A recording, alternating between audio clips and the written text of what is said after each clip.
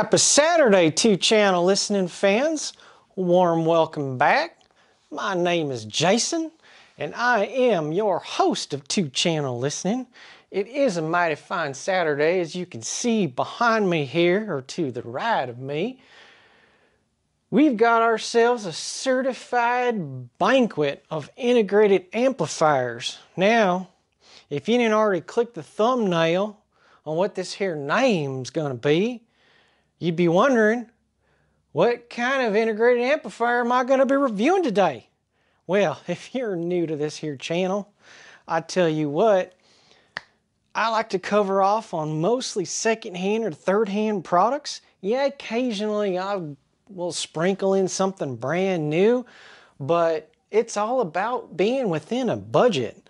And being in a budget means you want the most for your dollars, how far it's going to go for really good two channel listening. And god dang, I tell you what, I'm here to help you on that there journey to get you closer to the music so that you don't have to worry about all this goofy ass darn electronic gadgetry. I could tell you which ones are pretty good and which ones are, you know, okay, and which ones are, they just need to go back to the wood chipper. So, without further ado, today it's all in what's in a name. Naim, the brand, the audio brand name. It starts back with Julian Vereker in the United Kingdom. Now, Julian Vereker, he was born 1945, and he was first and foremost an enthusiast of race cars.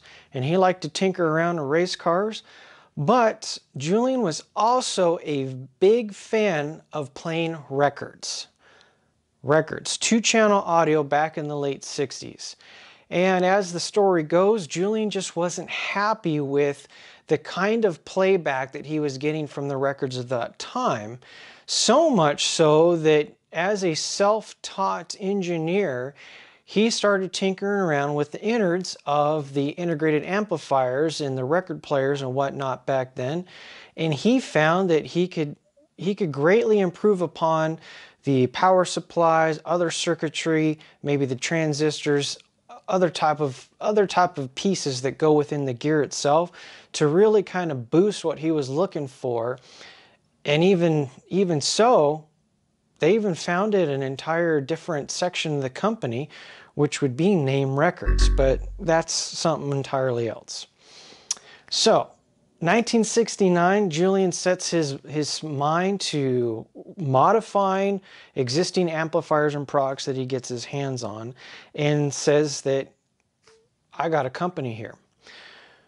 Naim, as it is called, becomes official in 1973, the very same year that they release their well known today, their NAP 200 two channel amplifier a, a, um, a marquee, if you will, that is still carried over into the year 2021. 10 years later, 1983, Naim comes out with its very own integrated amplifier called the Nait. Now, for 1983 or the 1980 standards, Naim came out with an integrated that did not look like other integrated amplifiers or, as they said back then, those big ass receivers.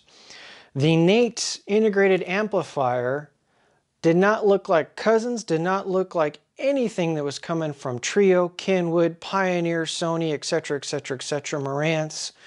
It was a rather compact unit that 1983 Nait was assigned a characteristic from UUK folks or an attribute saying that it provided a special rhythm and timing. And that's something that's kind of gone on through the generations, or said another way, PRaT, pace, rhythm, and timing, is something often associated with Naim products. Now,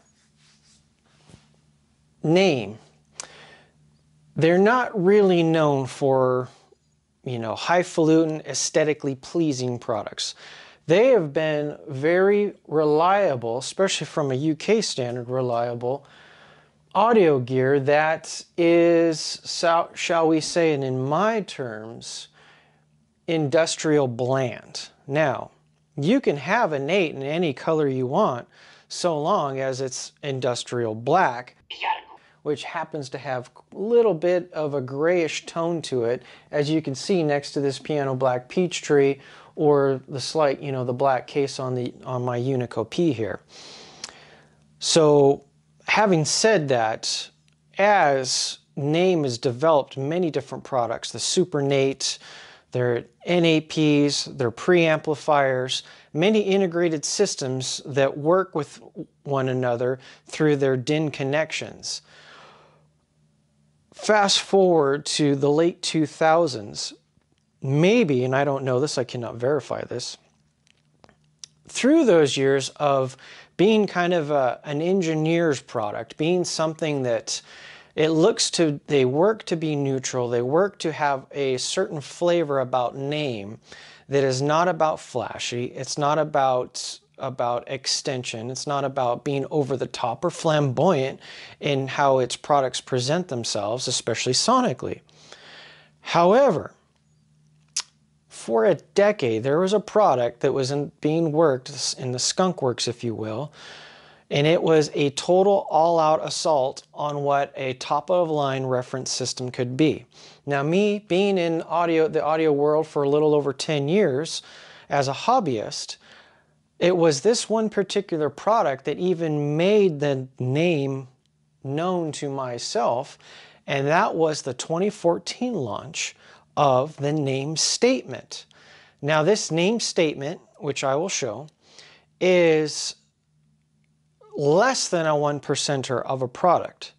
This is a bona fide, what I would say, arguably could be the world's most expensive integrated amplifier, the world's largest heaviest integrated amplifier because it's technically three pieces that have to be connected together for the system to work, the statement system to work.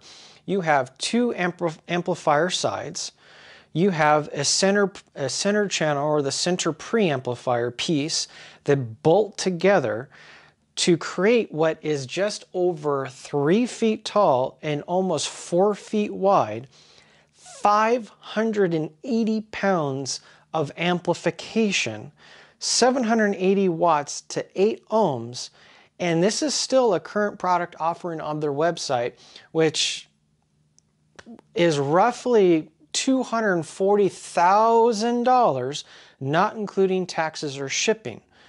Good luck with the shipping.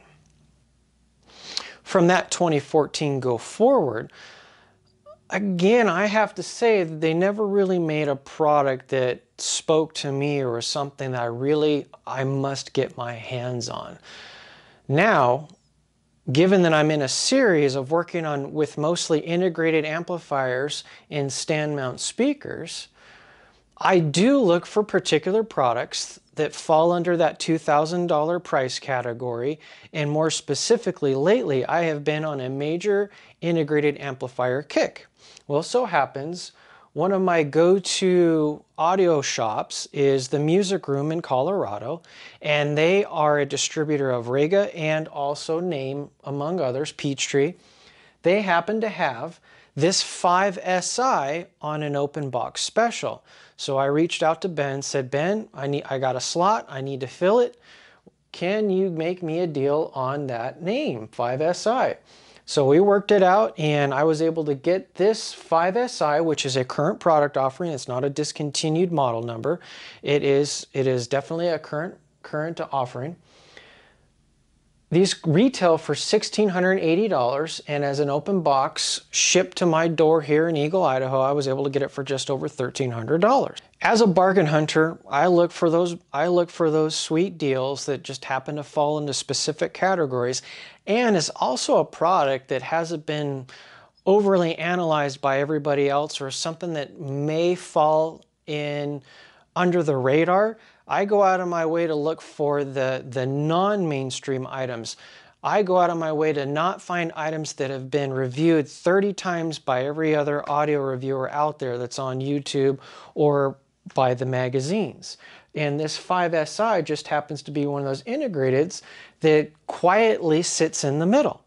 So what we have here is a 60 watt per channel, 8 ohm. It does not double into 4 ohms. It only goes to 80 watts at 4 ohms. It is a very, a very slender cabinet, so while it is the traditional 17 inches across, it is 2 and 3 quarters inches tall, and it is 12 inches deep. So by most standards, it's a, it's a very compact unit, and it comes in at about 13, 13 pounds. I will say that I do really appreciate the Naim remotes. It has a, even though it feels kind of plasticky, it, it's built with a certain amount of weight to it and it has a solidity to it that's, that's very impressive for what it is. And even though it's totally dark and does not have any light up functions, uh, it's pretty intuitive for the most part. Functionally, again, it's not, there's not a whole lot of connections with this. The 5SI does not have an integrated DAC. It is very it is very simple in its form. You have your you have your full headphone jack here. It has three inputs with an AV bypass. What it does do is it has two sections, one specifically for the CD player where it has your basic RCA, but it has also a DIN connection for if you were to integrate some of the other Naim products, more specifically the companion to this is their CD 5SI, and I believe that's a $1,200 CD player that would connect directly to this through the DIN, and you'd still be able to use the full function remote for both. I hope you like banana plugs because as these quirky UK products, they only will take banana connectors. There is no binding posts in the back. It's basically you just stick the bananas in the back and in typical UK quirkiness, everything is reversed. Which... So about that Naim, the 5SI. Last week, I made a statement and I'm going to make it again. When I reviewed the Sierra 2EX bookshelf speakers that I have from Ascend Acoustics, and I had all three of, the, of their variety, the S1, S2, and 2EX, I made a statement last week in that video that the speakers, aside from room or room acoustics, speakers in of themselves, they are going to give you the biggest bang for the buck. They are going to have the most influence over the sonic signature that you are listening to with the playback of your favorite music. You can plug in any different type of speaker that speaker, based on so many variables, the type of driver, the quality of the cabinets, the quality of the crossover, how it's crossed over, what frequencies it's crossed over, all those different variables, speakers will give you an incredible array of sound signature differences. So much so that that's where if you want to make a change, you want to focus on your speakers. Now when it comes to reviewing all these integrateds, Again, my opinion, I've had 18 different integrators that I've personally owned. Once you equalize some of the playing field and how I equalize the playing field with all these integrateds is that I use the I use an outboard DAC. I use my Marantz ND8006 connected via USB to my laptop so that by equalizing the playing field, everything is fed the same type of signal from the same type of DAC, and I'm using CD quality or better playback songs or bit rates. So that in of itself, we're talking about two components really. How, what, how good is the preamp side of the integrated and how good is the amp side of the equation. Now there's this thing with the Naim. And I have to say, going into this, I had a bit of a bias that was planted, these seeds were planted by all the numerous reviewers that I've read or listened to over the years, and many folks that would say that Naim products, they have a special rhythm and timing that come to them, or you know, an attribute that they, they present. So I have my library with the click of a button. I go through all my test songs and all I have to do is sit there, get things leveled out to where everything peaks at about 85 dB. Most of my listening's at eight, uh, around 80 dB.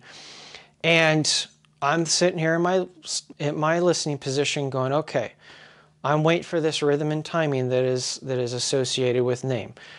Start my first song. 11 songs later, I'm still waiting for the PRaT bus to show up and pick me up. Now, that's not to be overly critical. I was just, again, going through every song. It was one of those, for me, it was those, I'm waiting for it, I'm waiting for it. It's not there on this song. I don't hear a difference on this song. What the hell are they talking about that Naim has a specific PRaT? So as a Yankee, let me go about this a different way. Let me try to explain what I heard with very little nuance between all these integrated amplifiers equalized by an outboard DAC. Here's what the Naim did for me or did not do. The Naim did not call attention to itself. The Naim is, by all accounts, for you old school folks, the Steely Dan of integrated amplifiers. It is not a chart topper. So Steely Dan had excellent musician, musicianship. I mean, you know, Hey 19, Ricky, don't you lose that number.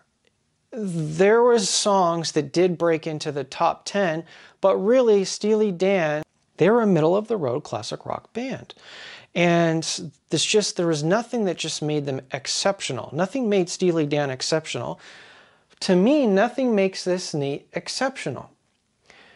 Its highs don't call attention to itself. There is no shimmer. There was no sheen. It was not forward.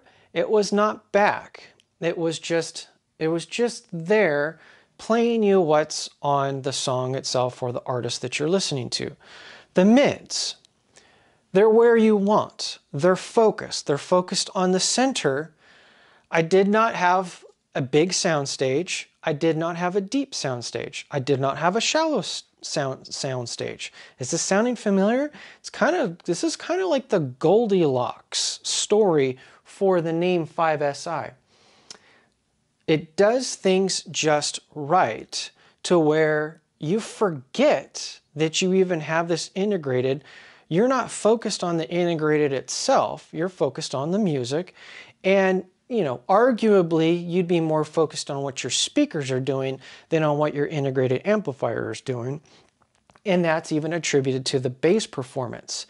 So the bass, while my Unico P over here, it, which is a hybrid with a tube stage preamp in it, it has that nice bloom where there's a bit of a halo effect around each of the notes that make you go, yep, there's a bit of tube there. You know it's there because there's just a bit of exaggeration with each note, the slightest bit, and it's it has a pleasantness to it, but it fills it out a little bit more. The Naim, it's not lean, but it's also not class D grip on the bottom notes. So specifically with the speakers I'm breaking in, the Eric S concepts here, these performance line number ones, these are a large reflex-based design speaker that in my room can give off a lot of bass. And particularly my Unico P was getting a little bit bloomy in the bass. The Peachtree, very controlled bass because of the Class D and did the best when it comes to these speakers. But the Naim, again, it's the middle of the road. You forget about it. When playing with the Sierra 2EX, I probably played the Naim the most with the Sierra 2EX because it did things just right with the ribbon tweeter and the way that its ported design works. For those of you who have been following me for a little while now, you know that I go out of my way to find a word to describe a particular product. The Naim? This is the sensible product. And what I mean by the sensible product is you probably, if you already own this, you feel pretty smart about it. You feel like you made a sensible decision. It is a product that fits within a certain price range. It's not it's it's not exaggerated. It's not over the top. It's understated if it's anything, and it's kind of like if it's kind of like a Prius owner. You buy a Prius because it's going to give you incredible gas mileage. It is very easy to maintain and it it really it's it's not a flashy vehicle. It's a vehicle that's understated and goes under the radar. So it's just something that you own for a long time and it gives you what you need when you need it and nothing else. Now, me, speaking of my personality, I did forget about this integrated amplifier while playing it. I would come home, and as I was breaking in many of my, uh, as I would come home and break in the Ascend Acoustic 2EXs, or I was breaking in the Eric S Concept Performance Line 1s with the Naim, I used it because it didn't do anything to exaggerate anything. And it became the integrated that I would play and forget about because it would help ease my mind that I wasn't going and sitting there going, oh my gosh, Amanda, did you hear that? Ooh, did you hear that? Ooh, I got to write that down. That was something that really stood out to me. Nothing at any time stood out. It was just, huh, okay, I kind of get it. But at no point did I hear this pace, rhythm, and timing thing that these are so well known about. Maybe their more expensive products give that. This one does not give that, especially in the company of these, these five integrated amplifiers. I would have to say, for me personally, it's not something I'm, I would keep. It's definitely going to go up for sale for me because, you know, at the end of the day, I do like I do like products that will call attention to themselves for something, not to be boorish or to be uh, fatiguing, but there, there needs to be something there, a little bit extra, a little bit pizzazz, a little bit of fizzle, a little bit of pop. And this is so far my longest running integrated amplifier, my Unison Research Unico P, until two days ago, arguably my least powerful integrated at only 50 watts.